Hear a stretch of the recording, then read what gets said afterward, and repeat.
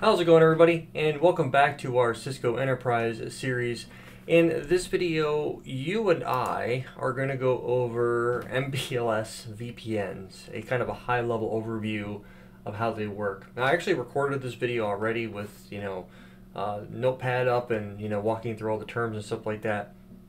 But I wasn't really happy with the way it came out, so it was, to, to me, it was too high level where it didn't really go into enough detail and stuff like that. So, uh, just so everybody understands where we're at, uh, this will be our MPLS environment. And we are going to go through and stand up MPLS VPN and get all of it working. And then we're going to have 58, 59, 24, 23, 38, and 37 all peer to the MPLS environment, as well as um, the AS3 for internet routing so that we can bring internet connectivity in and we can take a look at how traffic engineering comes into play.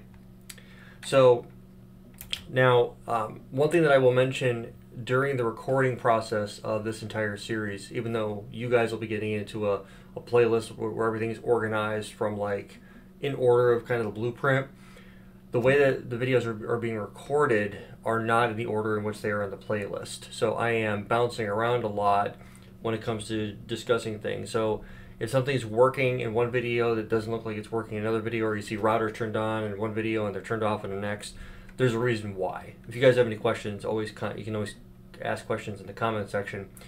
But the idea is so that I can demonstrate a lot of different technologies, different design scenarios, and things like that. But I've been working my way through getting things operational as I go through stuff. So I've covered a little bit of OSPF, a lot of EIGRP, just a little bit of BGP up to this point. So we're going to be digging into MPLS because I really want to walk you guys through and then start looking at more advanced scenarios and different capabilities and techniques that you can use and stuff like that.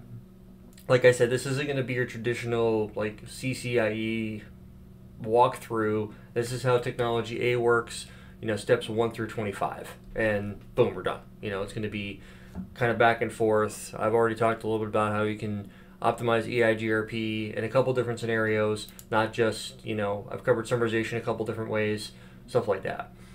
So what you and I are going to go do is walk through MPLS VPNs. Now, my goal here with this is to help you understand what MPLS is, how it works, what the different components of MPLS are, and how you would leverage it regardless if you're on the service provider side or if you're on the customer side and you're peering to an MPLS service provider through a BGP and things like that. So we're going to talk a lot about those components to make sure that we understand what's happening because if you were to just read up on the, the configuration guides, the configuration guides or like a design guide for MPLS, it can be difficult to understand it unless you already have a solid grasp of how it all works. So, similar to DMVPN in the fact that it's an, uh, it provides an abstraction of sorts. It's a allows you to basically provide a shared network for a lot of customers. So when we use the term shared, it's no different than the internet, right? You have the ability of buying access to an MPLS VPN provider, and then you know you're going to be taking up a certain amount of their available bandwidth, and so will 500 other customers. And you can take advantage of some of their QoS capabilities through MPLS traffic engineering and certain uh, service level agreement or SLAs and things like that. The other thing we're going to be taking a look at uh, beyond just getting it stood up, we're going to talk a little bit about the, the order in which you can get stuff working. You know, how you get IGP working, then you get LDP working, then BGP, how the VRF comes into play, how you get the routing to work, route propagation, all of those things, you know, what the route distinguisher route target are. These are all really important things to understand when it comes to the entire embodiment of MPLS because it's not like OSPF or EIGRP or even BGP where you just type in router the particular protocol and then you know, the autonomous system number or the process ID, and then boom, MPLS is working. MPLS is a conglomeration of technologies that are meant to provide a service.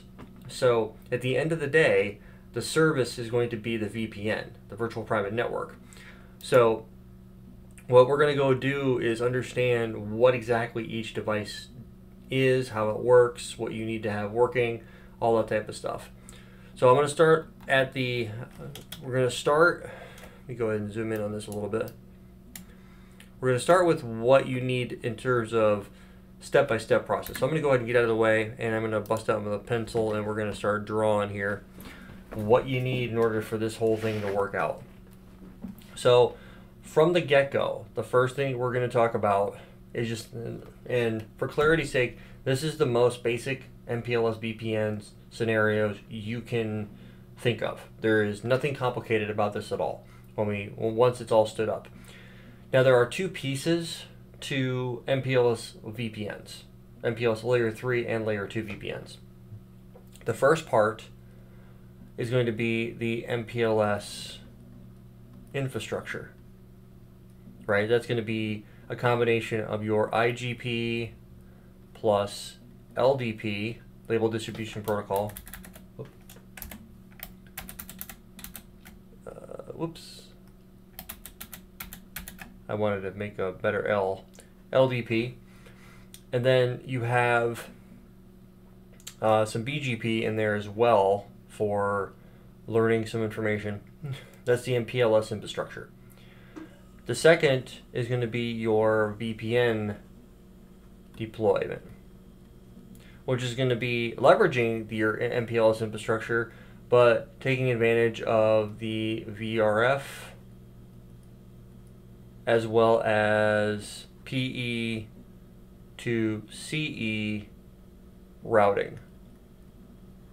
So if you were to stack them together, in steps. This would be 1, 1, and 1. This would be 2 and 2. So when we talk about getting everything stood up and operational, we're going to have an entire sec section. Yeah, it's a, a few videos dedicated to the MPLS infrastructure. And we're going to have several videos dedicated to VPN deployment. Now, there are a number of advancements that you can use and do when it comes to standing up MPLS VPNs. So there's the layer 3 VPN, which is the PE to CE routing component, where you would peer via BGP, OSPF, EIGRP, ISIS, RIP, static routing. You can do all of those with MPLS. And then you have uh, layer 2 VPN, where you can do a EPL, an Ethernet point to uh, you know point to point connection, uh, e uh, Ethernet private line, uh, you can do an ELAN, which is an Ethernet local area network, where you're basically stretching layer two via this, uh, the SP's backbone, and we'll talk about how that comes into play as well. Actually, that's one of the things we're going to be definitely doing as we get further along is we are going to be configuring this connection right here, gig 4 and gig 3, or I'm sorry, Ethernet 3 on R64 and R65 we will eventually deploy a layer 2 VPN so that we can get N73 and N77 to be able to see each other as directly connected. Now I don't know, I haven't tested this, so I don't know exactly if it's actually going to work the way that I expect it to, but the intention would be to get these guys to form a BGP peering between each other so we would be able to do VXLAN multi-site and get that all stood up. But that'll be coming down the road. So anything with Nexus where VXLAN isn't a core competency for what I want you guys to see. But when we get into, so um, Lisp plus VXLAN, I cannot write, equals SDA, software defined access. So this is what you would work with if you're dealing with DNA Center or DNAC. So when we talk about things like this, this is where this is why I'm going to be demoing VXLAN, so you'll be able to see a real world scenario with it.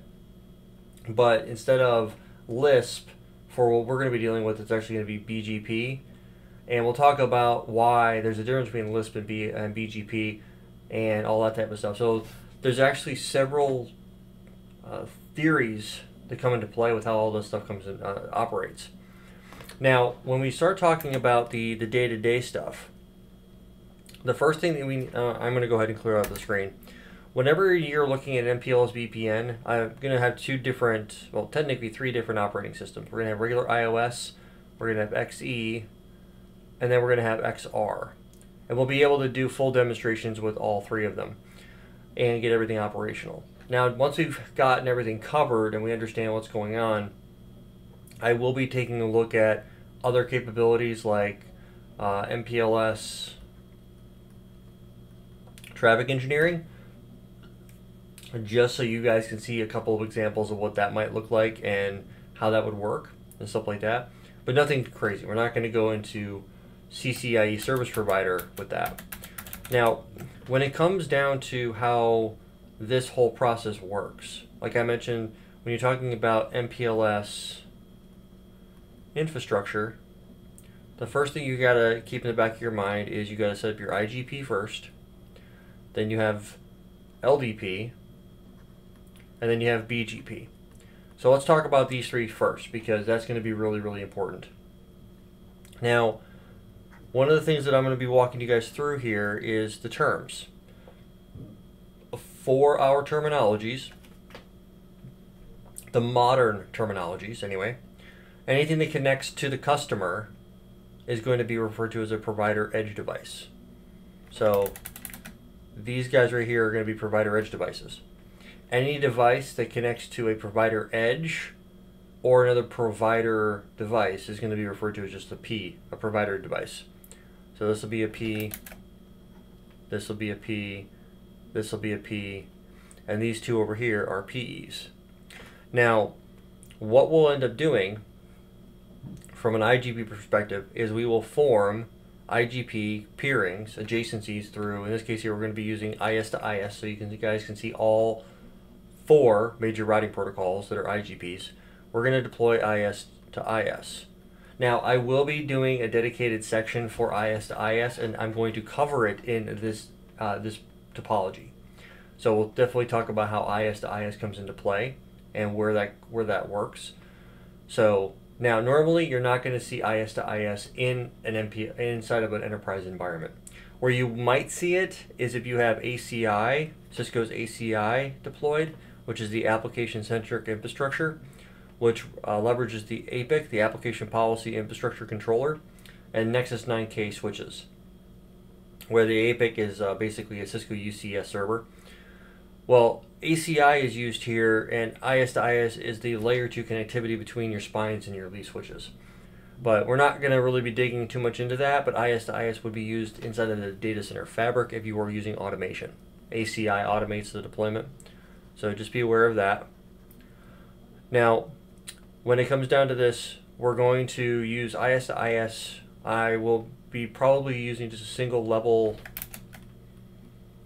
2 design, so it's a backbone design to get everything reachable.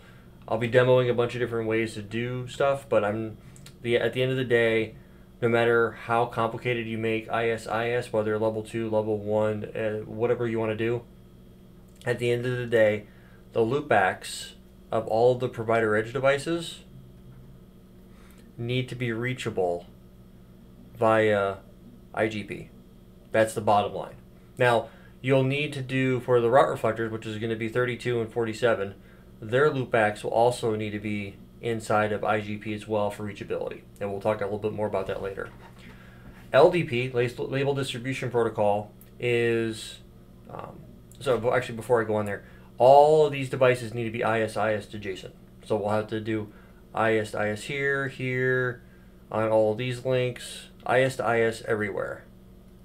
And as long as you have that in play, you'll have full reachability. So IS to IS on all these interfaces that are inside of the MPLS VPN environment. Don't include the stuff over here. So anything that's connecting outside of this big uh, rectangle, pretend like it doesn't exist.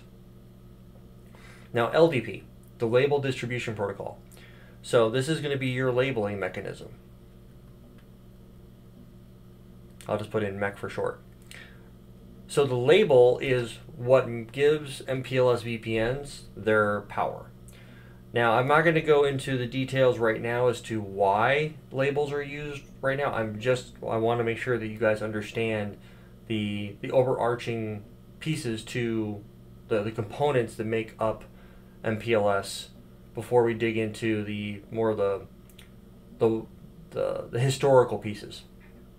Now, LDP is a labeling mechanism, and LDP will leverage, work with IGP, in this case here, IS to IS, and when you are fully converged with your routing protocol, IS to IS in this case, you will then be able to exchange information with other routers via LDP and you'll be able to form LDP adjacency.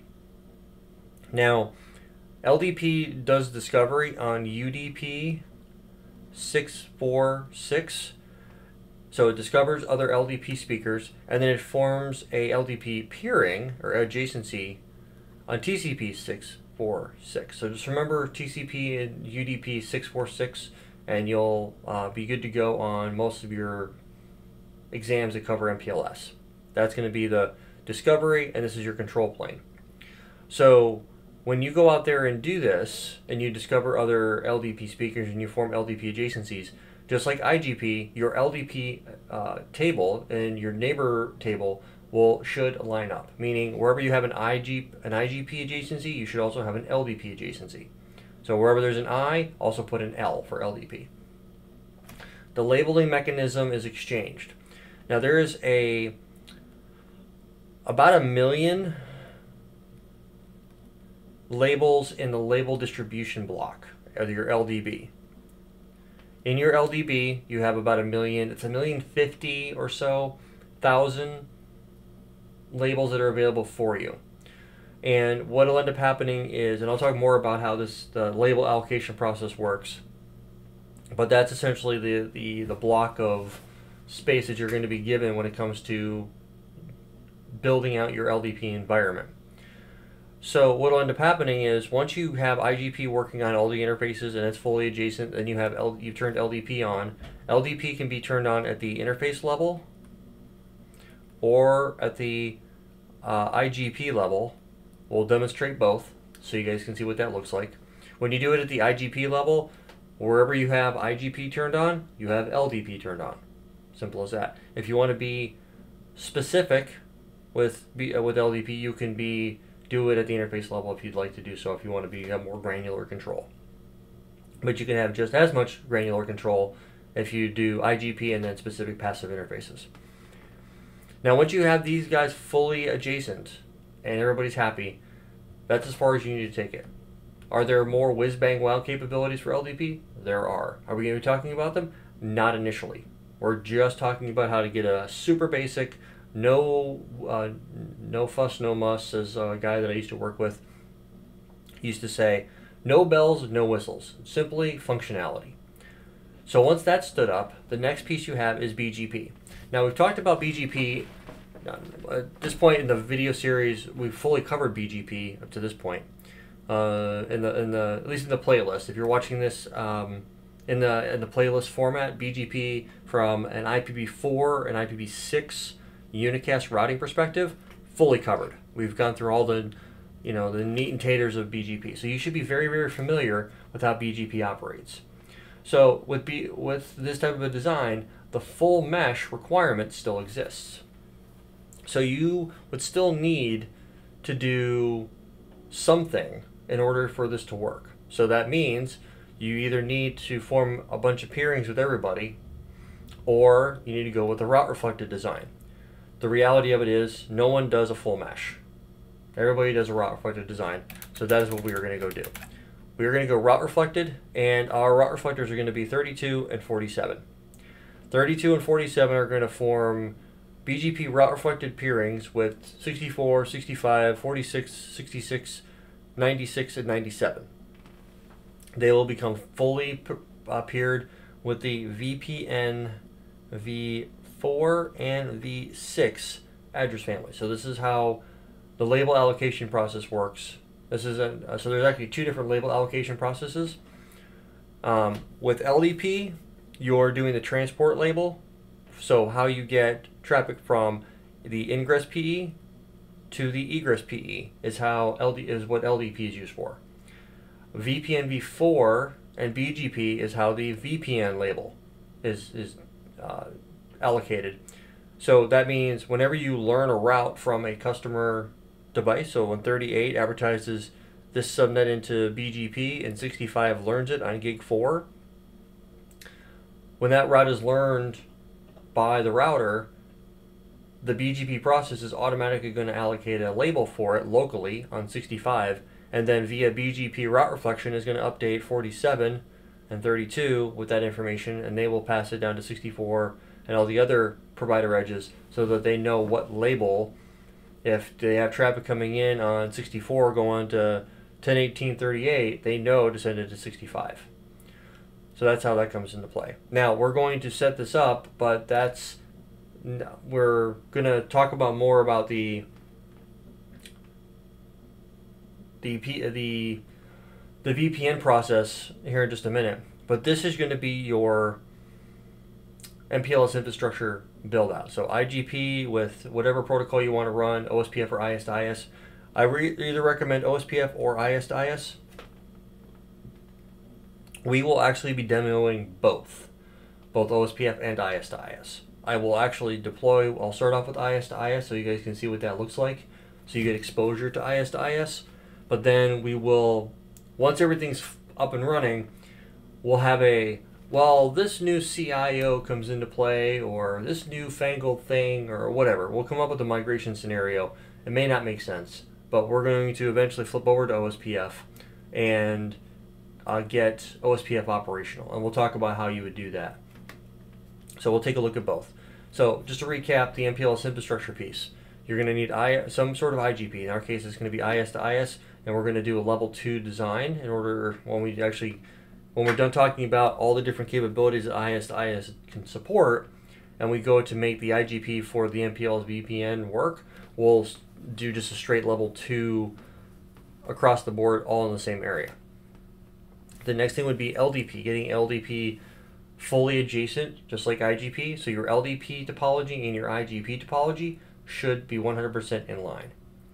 Then we'll do BGP with a route reflected design. We'll look at XR and IOS as our route reflectors. And we will be doing a route reflected design to all the PE routers. This shouldn't take very long at all. I can have this done in you know probably a half an hour if I was to like get after it. But I'm gonna explain how it all works behind the scenes as we start getting this up and running. So this will be one video when we go through there. Even though I can knock out an entire MPLS VPN deployment in about an hour, it's uh, this is what we're going to walk through and do.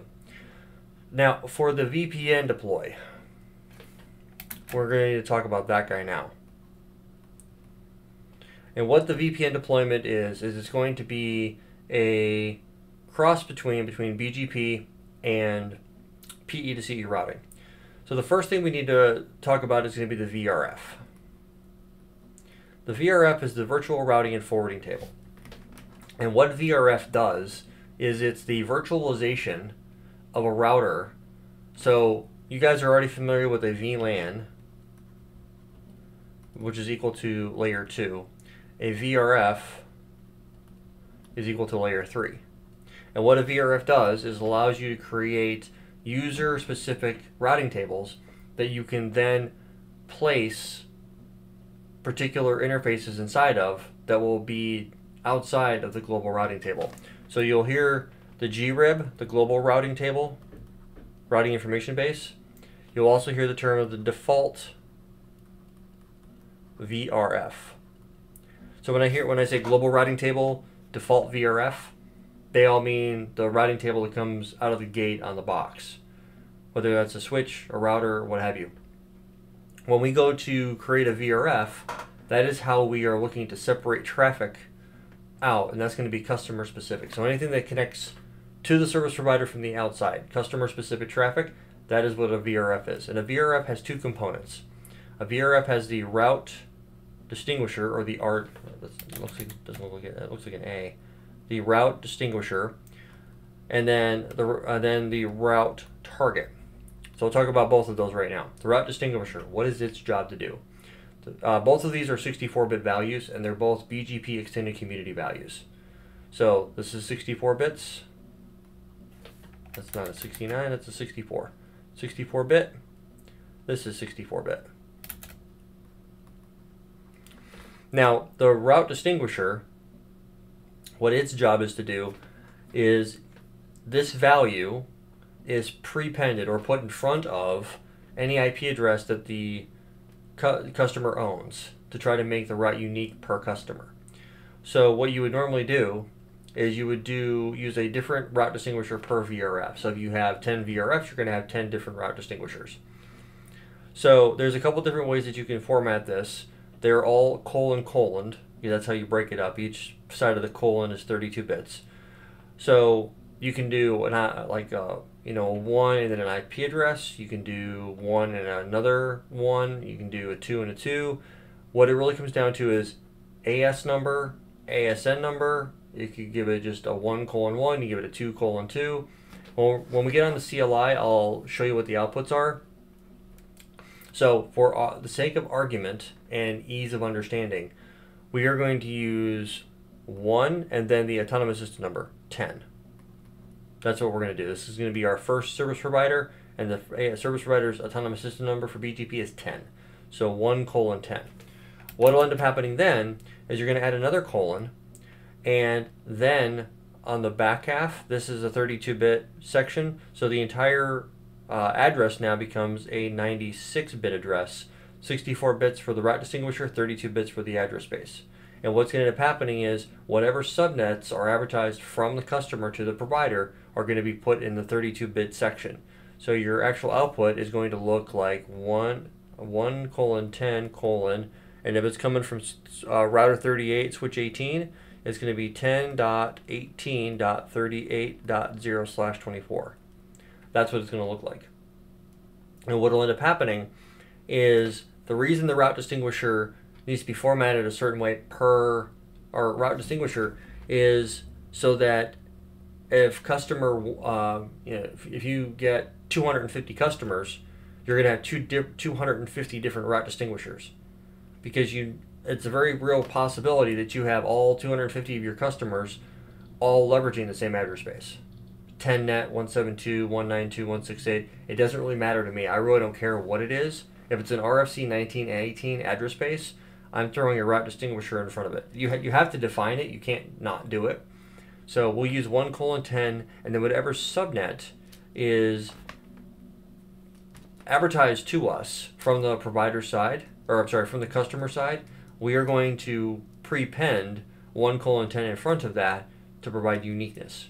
Now we could go out and demo more, and I've done this in other uh, videos. As a matter of fact, there's some videos I did where I did inter AS VPNs, and I did three different customers just to demo three different MPLS environments and how that comes into play. So if you really want to deep dive into how MPLS VPNs work beyond what I'm covering, the, the basics for this series, because I, I was studying for the service provider exam at the, at the time, so they're probably five or six years old now but they're still very, very relevant to what you guys will need to know.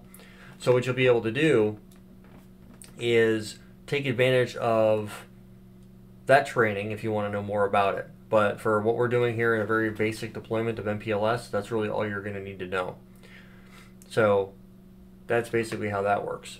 Now the route target. The route target is I now I correlate that to an ACL, an access control list.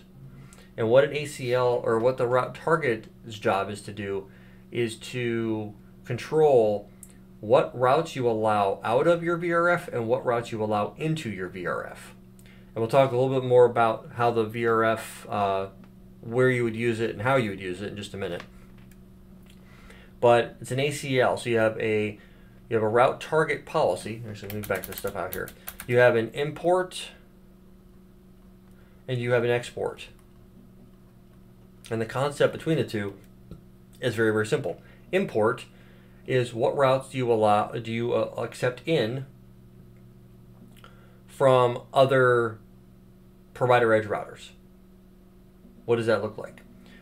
So you could get routes from 65 with 10, 18, 38, and that would be learning routes from another another provider edge router. An export is taking routes that you've learned from the customer and then adding them into BGP. So regardless of how you want to look at it, you are going to either import routes from BGP VPN v4 updates that come in from other provider other provider edge routers. You're going to import those into your local routing table, your VRF routing table through the import policy, and you also have an export policy of what routes you allow out of the VRF and into BGP. So import is in, export is out. Simple as that. Now, this is also a 64-bit value, and I'm going to use, um, typically speaking, because we're looking for a very, very basic deployment, I'm also going to use um, 1 colon 10 for both import and export values. Now, what's going to end up happening is you're not going to put an IP address in front of behind this. This isn't prepending anything. This is just basically controlling what's allowed to come and go. There is another way of doing this, that if you were to go look at my service provider um, playlist that I created a while back, where I go into detail as to why I would use a different format. Another format for this would be like you have your VRF number, which would be one, and then you have colon and then an IP address. So, for example, what let's pretend like it's 65 is uh, 10.0.0.65. And what you would do is every router would have a VRF configured on it. Each one would have a different uh, route target value. So what you would need to do is if you had 65, 66, 97, 96, 46, you would have to take all those values and put them into a list on 64 to allow those specific route target values to be learned in, so to import it. So that's where the, the IP address comes in because it allows you to be more controlled on where you're going. So if we would do just this version right here, if we do this, we're saying any to any communication. I want to just accept whatever routes other provider edges are sending me. If you choose to do the one colon, and this, that one can be any number really, and then you put in the IP, an IP address of a remote PE, so 10.0.0.65. This is like config configuring an access list to match on this specific IP address, and then you're only going to learn routes from specific remote PEs. This would be more like your hub and spoke design, where you want to really only learn routes from a specific hub. So that's basically where that would come into play. Now, there's nothing wrong with doing it this way. It's just a little unorthodox. So but I will I demoed it in older videos, so if you want to see what that looks like, feel free to go jump into the service provider playlist and how that would come into play. But that's essentially what how that works. Now, the way that this gets operated is once you create your your your VRF, and the command configuration for that is going to be VRF. On uh, this is going to be IOS VRF definition, and then you give it a name. So, for example, A, or whatever name you want to give it, right? And then you would create your route distinguisher, RD. In this case, there's going to be 1 colon 10. And then you create your route target. And then you would, uh, for IOS, you would type in both, for both import and export, and you'd say 1 colon 10. And this is completely valid. And then you would define the address family. Because when you're when you're using the definition option, you're saying I want to be able to do both IPv4 and IPv6 at the same time. So you just specify, you know, AFI, IPv4, AFI, IPv6, so on and so forth. Now, once you've done that and you have your VRF created, then what you need to do is go to every interface that there's going to be a peering on to the outside world. And all these interfaces need to get be placed inside of the VRF. Now, what that's going to do is move these interfaces to a different routing table. So it's going to move it to the VRF A routing table. It's the name of your VRF. And when you move it to your VRF A routing table, what that will essentially do is it will take it out of the global default VRF, the global routing table, and provide you a customer specific routing table. And then what you'll have to do once you've done that is give it an IP address and all that other fun stuff. And then you need to go underneath global BGP. So in this case, you're a BGP 10. And then underneath the VRF, so address family address family IPv4A, you would then say that would do then you would do your BGP configuration downstream to whoever you're peering to. So you would do you know neighbor, you know, yada yada yada yada remote AS two or whatever it is, and then once you do a BGP peering on both sides, then what you can do is start taking routes from like 59 can say if we've got EIGRP running, you can say okay, well, let's redistribute EIGRP into BGP, and then we'll take BGP and we'll redistribute into EIGRP. So you're doing mutual redistribution on 59. So 46 will start to learn routes from 59 inside the VRF routing table because the routing uh, the route target uh, values are all the same on all the routers and the route distinguishers defined any route that's learned from the customer will automatically get the route distinguisher of 1 colon 10 46 will learn the routes and then propagate those routes to 96, 64, 65, 66, and 97 via 47 and 32 because those are the route reflectors. They'll get all those routes, and then if they have any of their own PE to CE routing in place, then they'll be able to shove that down to 38 and whoever else is uh, operational, you got a BGP peering online, and get that all working. So that is essentially how that whole process will work. Now, I will be clear that we'll be taking a look at all the IGPs and static routing in terms of getting route propagation to work. So you can static route to the provider and then do redistribution on um, on the PE routers into BGP through you know redistribute static, you know whatever the static route is, all that good stuff. So all of that is, a, is an option as well. So in terms of that, that's basically what I wanted you guys to be able to to take from this in terms of the day to day and stuff like that. So I will go into more detail in the next video of how this stuff works at the, the finite level. And then we'll go through and start doing all of our configuration and stuff like that as we go further along. So it doesn't, it's not terribly involved. There will be, you'll be surprised at how not complex this is and it was one of those things when I first started learning it, I had a really, really hard time grasping the concept um, because it was a new capability. I was generally familiar with regular unicast routing, which is destination based. MPLS VPNs are destination based VPNs as well, so they made it a little easier to follow along. But the reality of it is, you've got an operational network that has multiple steps working. But if you do what I did and you put it into a flowchart, you go, okay, I need IGP, then I need LDP, then I need BGP, then I need VRF, then I need P to CE routing, and then boom, problem solved. So it's very, very easy to follow along, and I'm going to be building it in that order so that it'll be easy for you guys to follow along with. And then once we have that entire topology, or the, the MPLS VPN online and working, then we'll be able to take a look at some other designs and get everything, uh, some other stuff working and focus on those details because there's going to be a lot that goes into it. If I had to estimate how many videos, it's probably going to be about 10, 12, and nothing crazy, maybe 15. But I don't think it's even going to be that many. Because I'm not going to be going into super deep detail of how traffic engineering works and stuff like that. So that'll be more of a down the road type of deal. But once we get a basic MPLS VPN deployment in play, then we'll be able to start looking at other capabilities as well and go from there. So there was a question once I have all of the technologies covered, what is my goal? Well, my goal then would be to focus on specific scenarios. Like once I have everything up and running and everybody's happy, there's full connectivity everywhere, and all that type of stuff. And I've done through gone through basically the entire blueprint. You got to remember too, we haven't even touched multicast yet. We haven't touched any services other than basic um, FHRP with HSRP or VRRP. So we still have a long ways to go in terms of other services.